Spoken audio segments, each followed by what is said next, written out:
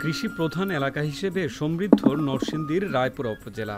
কম খরচে বেশি লাভ হওয়ায় ধান, সবজি বাদ দিয়ে কুলবরই চাষে ঝুঁকছে এই এলাকার চাষিরা।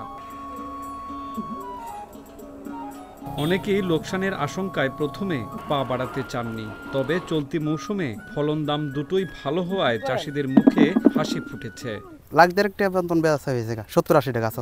পাঁচ জাত আছে। বাউকুল আছে এর যে ভারত সুন্দরী আছে এর হচ্ছে বল সুন্দরী আছে এর হচ্ছে দেশি আপেল আছে, এটি আছে, এরপরে আছে কাশ কাশ্মীরি আছে, এরপর আছে ডাব ডাব বড়ি আছে। কতবার হিসাবে হইলে তো মানে হয় সাড়ে তিন কানিয়ে যদি পাঁচ লাখ টাকা, সাড়ে পাঁচ লাখ টাকা বেচছি তো হিসাব করেন, আট নয় লাখ টাকা হবে ইনশাল্লাহ। খরচ তো এবছর আমার কম হয়েছে খরচ।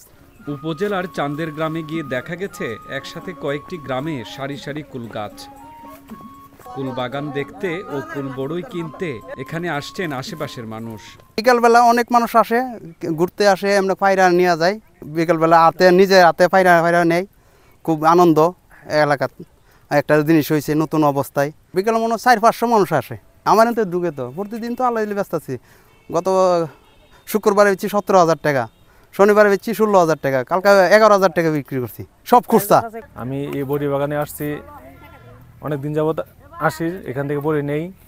এখানে বড়িগুলো অনেক সুস্বাদু এবং অনেক বড় হয় এবং ভালো হয় এখানে বড়িগুলো। খাইতে অনেক মিষ্টি। আর পাঁচ কেজি নিয়েছি। কুলবরই যারা চাষ করছে তাদের নানা ধরনের পরামর্শ দেওয়া হচ্ছে বলে জানান উপজেলা কৃষি কর্মকর্তা।